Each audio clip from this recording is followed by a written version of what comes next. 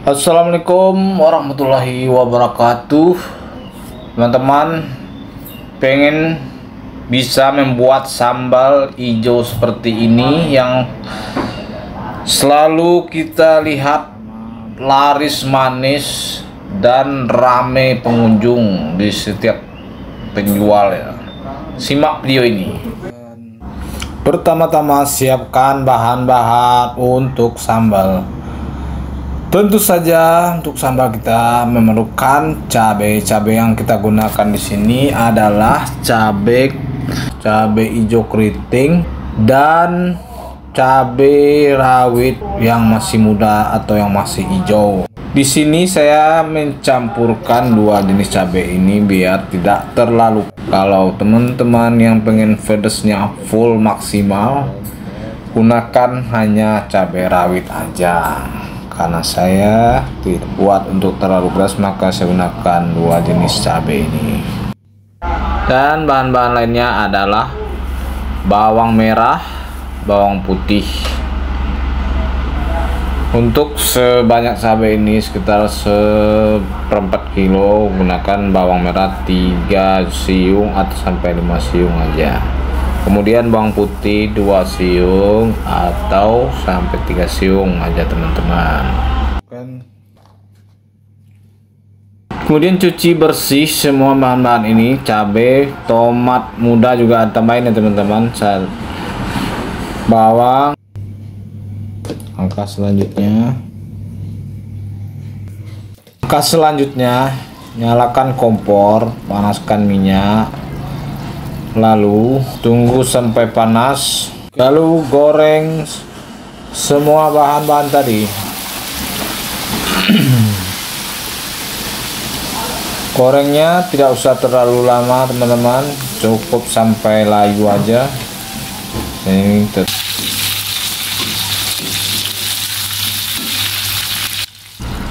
angkat cabenya dan tiriskan.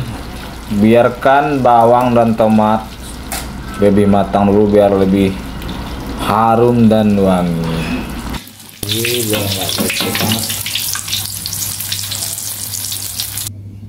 Ini ini rahasia utamanya. Tambahkan terasi udang. Dibakar sebentar. Kemudian tinggal kita ulek. Tuh tambahkan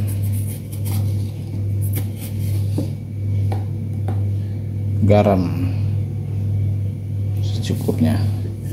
Satu setengah sendok teh dulu. Kemudian penyedap rasa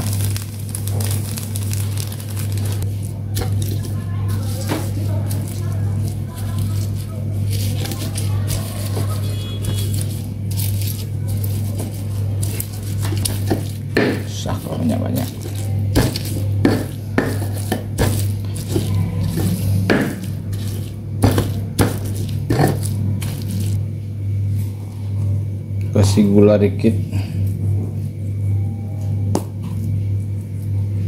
Biar tidak nggak terlalu tajam di perut. Gula dikit ya.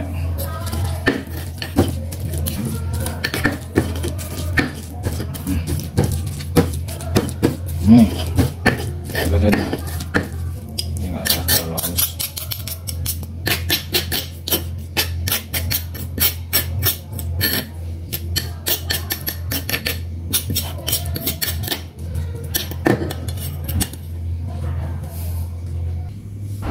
kemudian goreng ayam yang telah kita ungkep dengan bumbu kuning. Untuk yang lebih jelas tentang cara pengungkapan yang baik dan enak nanti kita akan bikinkan videonya. Oke kita goreng ayamnya. Kita goreng tiga potong ayam karena saya di rumah cuma tiga. Kita tunggu agak langkah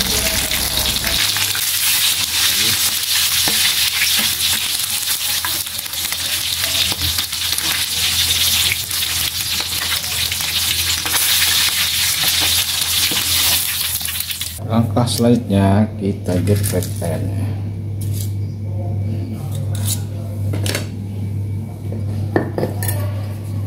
makanya dia disebut namanya ayam geprek atau penyet ya pakai tepung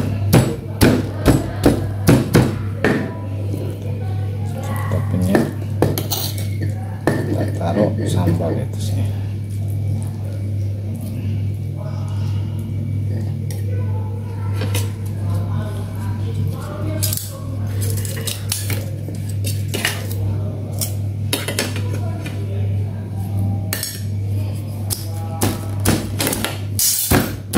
Aduh.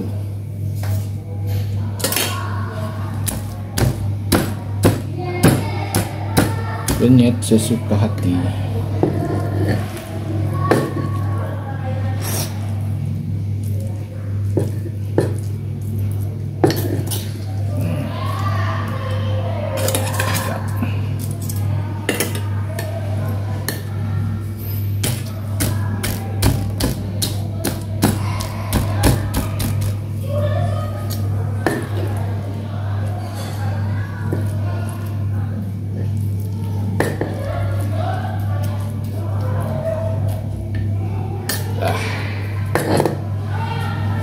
Kemudian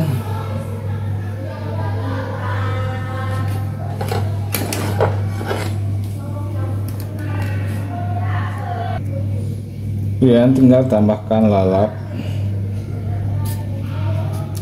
Apakah itu timun ini bisa cuma ada timun. Bisa tambahkan kemangi kol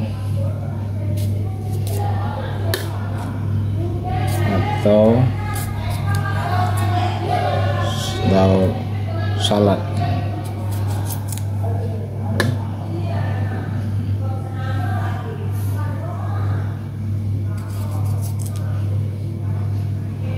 dah gitu ya platingnya. Oke teman-teman itulah resepnya. Mantap kan